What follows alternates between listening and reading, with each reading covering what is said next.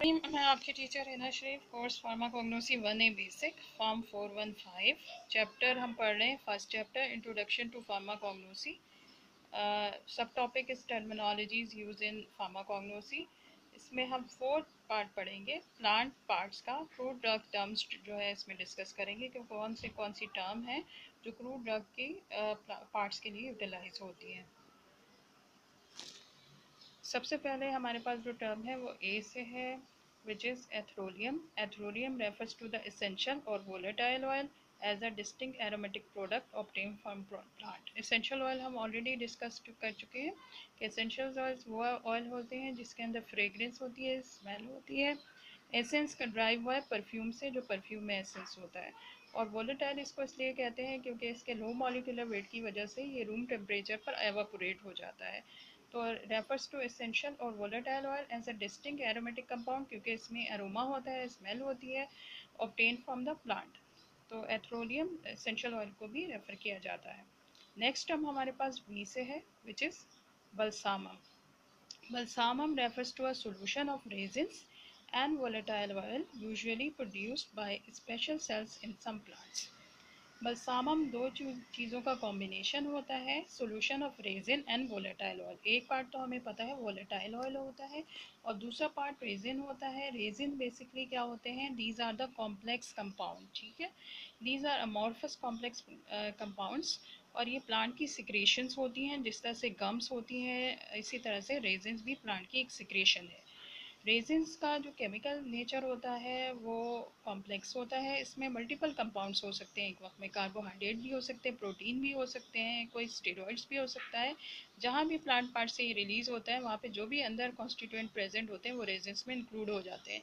तो रेजेंस का आप इस तरीके से डिफाइन कर सकते हैं कि resins are the amorphous products of the plant which which is complex in chemical nature ठीक है तो बलसामम क्या हो गए रेजिन्स और वोलेटाइल ऑयल का कम्बिनेशन हो गया और special cell of some plant से ये प्रोड्यूस होते हैं। Then bulbus bulbus refer to the bulb basically ये अंडरग्राउंड बर्ड्स होती हैं और ये स्पेशलाइज स्टेम के स्ट्रक्चर्स होते हैं इनका रूट से कोई ताल्लुक नहीं होता। तो बल्ब्स क्या होंगी आपके पास? आ, जो रूट्स होंगी उससे उसका कोई कंसर्न नहीं है। ये जो होंगी वो स्टेम की जो है एक स्पेशलाइज स्ट्रक्चर होंगी। स्टेम की बर्ड्स होंगी लेकिन क्या होंगी? अंडरग्राउंड होंगी of a plant from which both shoots and roots में एक्सटेंड जिससे मज़ीद आपकी क्या निकलती हैं? शूट्स भी निकलती हैं और रूट्स भी निकलती हैं। सो so, बल बल्बस क्या हो गई? These are the underground bud of the stem of the plant और इससे क्या चीज़ें निकलेंगी? शूट्स निकलेंगी जो स्मॉल स्टेम्स होते हैं वो भी अराइज होती हैं और रूट भी इसी से प्रोड्यूस होती हैं। तो this is basically bulbus cortex cortex refer to the bark of the plant bark can be collected from the root stem और ब्रांचेस तो these are the basically hard part of the plant और ये collect किया जा सकता है from root stem और branches ये जो अपर इसके कवरिंग होती है, जो हार्ड कवरिंग होती है, उसको कॉटेक्स कहा जाता है. देन हमारे पास फ्लॉस है. Flos refer to the flowers of the plant usually consisting of a single flower or the entire inflorescence. So flos जहाँ पर भी टर्म होगी तो ये फ्लावर को रेफ़र करेंगी, चाहे फ्लावर सिंगल हो, चाहे एक बंच की फॉर्म में हो, जो कि इन्फ्लोरेसेंस कहलाता है। ठीक है? इसमें सारी एग्ज़ाम है इन्फ्लोरेसेंस की। जो बंच होते हैं फ्लावर के वो डिफरेंट फॉर्म में होते हैं हेड फॉर्म में होते हैं। कभी आपने देखा होगा कि एक बंच की फॉर्म में है कभी आपने देखा होगा कि एक लाइन की फॉर्म में So these are few names of those inflorescence that is bunch of the flower which is present in plant. Head umbel panicle, spike ये सारी चीज़ें जो होती हैं फ्लॉस कहलाती हैं। नेक्स्ट टर्म हमारे पास एफ़ से है that is folium folium refers to the leaves of the plant usually the middle leaves of the plants are collected तो फोलियम हमारे पास क्या होते हैं? जो प्लांट के मिडल लीव्स होते हैं, जो स्टेम के बीच में प्रेजेंट होते हैं, वो क्या कहलाते हैं? फोलियम कहलाते हैं। Fructus fructus as the name indicate refers to the fruit the ripened ovary of the flower bearing seed ये डेफिनेशन किसकी है? फ्रूट की। फ्रूट क्या होते हैं? राइपेंड ओवरी होती है, यानी राइप ओवरी होती है of the flower bearing seeds जब सीड्स की ओवरीज जो होती हैं, वो राइप हो जाती हैं, पक जाती हैं तो वो किसमें फॉर्म होती हैं? फ्रूट की शक्ल में आती हैं। और इसको फ्रूक्टस को बेरीज के लिए भी यूज़ किया जाता है, क्योंकि बेरी भी नॉर्मली फ्रूट्स ही कंसिडर होती है प्लांट का। In pharmacognosy fructus is not always synonymous with the botanical definition इसका मतलब ये है कि समटाइम फार्माकोग्नोसी में फ्रक्टस जो है, वो सैनोनियम नहीं होता विद द बोटेनिकल डेफिनेशन इसके डिफरेंट मीनिंग निकलते हैं। लेकिन यहाँ पर हम इसको देखेंगे कि फ्रक्टस जो है बेसिकली किसको रेफ़र कर रहा है? फ्रूट्स को और बेरीज को। Herba. Herba refers to the aerial part of the above ground part of the plants ठीक है? तो ये एरियल पार्ट्स होते हैं एरियल जो कि हवा में मौजूद होते हैं या फिर अबव ग्राउंड पार्ट जो प्लांट के होते हैं, वो हरबा कहलाते हैं। इसमें कौन कौन से पार्ट्स होते हैं? It include flower leaf and the stem of the plant और ओकेजनली फ्रूट्स टू और ये जो भी पार्ट हमारे पास एयर में है अबव द ग्राउंड है, वो सारे जो होंगे हरबा कहलाते हैं। Lignum. Lignum refers to the wood और the secondary thickening of the stem तो बेसिकली ये क्या कहती हैं? लिंगम जो होती है वुड होती है और स्टेम की जो इंटरनल लेयर होती है सेकेंडरी लेयर होती है थिकनिंग ऑफ़ द स्टेम कहलाती है। This may or may not include the bark जो आउटर लेयर होगी, वो क्या कहलाएगी? बार कहलाएगी और इंटरनल लेयर क्या कहलाएगी? लिंगम कहलाएगी लिग्नम कहलाएगी। नेक्स्ट हमारे पास जो टर्म है, वो है oleum oleum refers to the fixed oil preparation pressed और squeeze from the plant material oleum हमारे पास जो है वो फिक्स्ड ऑयल की प्रिपरेशन होती है। फिक्स्ड ऑयल जो बेसिकली प्रेजेंट होते हैं, ये फैट ऑयल्स होते हैं और ये वोलेटाइल ऑयल से कम्प्लीटली डिफरेंट होते हैं क्योंकि ये फैट इन नेचर होते हैं। वोलेटाइल ऑयल हमने देखे थे कि उनका नेचर सिंपल हाइड्रोकार्बन था, लेकिन फिक्स्ड ऑयल हमारे पास क्या होते हैं? Fatty acid plus glycerol moiety से बने हुए होते हैं। इनका मॉलिकुलर वेट बहुत हाई होता है। जो नॉर्मली घर में यूज़ होते हैं कुकिंग ऑयल वगैरह, वो आपने देखे होंगे कि रूम टेम्परेचर पे एवोपरेट नहीं होते, वो फिक्स्ड ऑयल होते हैं। तो ये फिक्स्ड ऑयल प्रिपरेशन जो होती है नॉर्मली प्लांट के सीड से ऑप्टेन की जाती है। जो भी सीड्स होते हैं, वो सोर्स होते हैं फिक्स्ड ऑयल का और इसके अंदर फैट मटीरियल होते हैं। ये दो तरीक़ों से होते हैं, या तो प्रेस किया जाता है सीड्स को प्रेस किया जाता है, जिसकी वजह से वो बर्स्ट हो जाते हैं, या फिर एक स्क्वीजिंग प्रोसेस होता है, जिसमें उसको स्क्वीज़ कर लिया जाता है, और दोनों तरीक़ों का पर्पज़ एक ही है, कि आपने उसको सीड्स को प्रेस किया, या फिर स्क्वीज़ किया तो उसके अंदर से आपको क्या चीज़ ऑप्टेन हो गई? ओलियम ऑप्टेन हो गया, जो कि फिक्स्ड ऑयल की प्रिपरेशन होती हैं।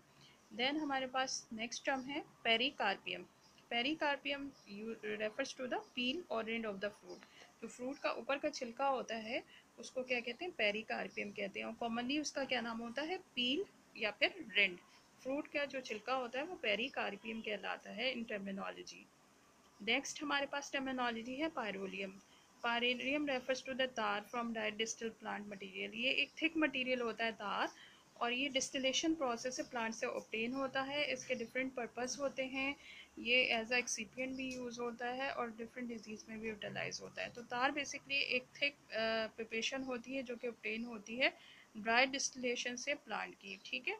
तो pyroleum this is pyroleum next radix radix refer to the root of the plant though radix is sometimes synonymous with rhizomes वैसे नॉर्मली इसको रूट से रेफ़र किया जाता है, लेकिन कुछ ऐसी जगहों पर इस रेडिक्स को कुछ ऑथर्स ने जो है राइजोम्स के तौर पर भी यूज़ किया हुआ है। रूट्स हमें पता है प्लांट में जो रूट्स होती हैं, जो अंडरग्राउंड पार्ट होता है, और राइजोम्स भी हमने देखा होगा राइजोम्स को हम आगे राइजोमा में डिफ़ाइन करते हैं। Next is resina resina refers to resin मैंने आपको पहले भी बताया था that is secreted by the plant ये प्लांट से सिक्रीट होते हैं और मैंने बताया था ये अमॉर्फस कंपाउंड होते हैं जब ये एवोपोरेट हो जाता है इससे वाटर और इनकी केमिकल नेचर क्या होती है? This is a complex compound and contain many active principles that is secreted by the plant plant के स्टेम पे अगर आपने देखा होगा तो समटाइम्स सिक्रिमिनेशन होती है। और दूसरा तरीका ये होता है कि आप इसको डिस्टिलेशन से ऑप्टेन कर लें। डिस्टिलेशन बलसामम तो बलसामम की सिक्रेशन थी जिसमें वोलेटाइल ऑयल था और प्लस उसके अंदर रेजिन था। तो आप इसको डिस्टिल करें तो आपका जो वोलेटाइल ऑयल है वो सेपरेट हो जाएगा और आपको रेजिन ऑप्टेन हो जाएगा। तो these are the two methods एक नेचुरल मेथड है जिसमें प्लांट खुद सिक्रीट करता है और दूसरे मेथड में आप क्या करते हैं बलसामम को डिस्टिल करते हैं और उससे वोलेटाइल ऑयल को सेपरेट करते हैं और रेजिना को ऑप्टेन करते हैं या रेजिन को ऑप्टेन करते हैं। Next term rhizoma refers to rhizome और क्रीपिंग हॉरिजेंटल स्टेम तो राइजोम्स जो होती हैं बेसिकली क्या होती हैं? राइजोमा को राइजोम भी कहते हैं और ये क्रीपिंग क्रीपिंग्स वो मटेरियल होते हैं जो ज़मीन के ऊपर ले डाउन होते हैं। यानी ज़मीन की सरफेस पे मौजूद होते हैं। तो ये ज़मीन पे जिस तरह से डिफरेंट बेलें और आपने देखे होंगे वाइंस वगैरह फैली हुई होती हैं, बिल्कुल इसी तरीके से होते हैं। और अ क्रीपिंग हॉरिजेंटल स्टेम ये क्या कहलाते हैं? ये स्टेम जो होते हैं, क्योंकि ज़मीन के साथ होते हैं तो ये हॉरिजेंटल स्टेम्स कहलाते हैं। Generally bearing roots on its underside ठीक है? तो ओवर द ग्राउंड क्या होंगे? ये आपको जो भी एरिया नज़र आएगा रूट्स की तरह का, वो स्टेम कहलाता है और अंडर द ग्राउंड जो होगा, वो इसका जो पार्ट होगा इसी से रूट अराइज होती है। तो राइजोम जो बेसिकली क्या होते हैं? क्रीपिंग हॉरिजेंटल स्टीम्स होते हैं। और अंडर साइड पे इसकी क्या चीज़ प्रेजेंट होती है? रूट इसी से रूट अराइज होती है।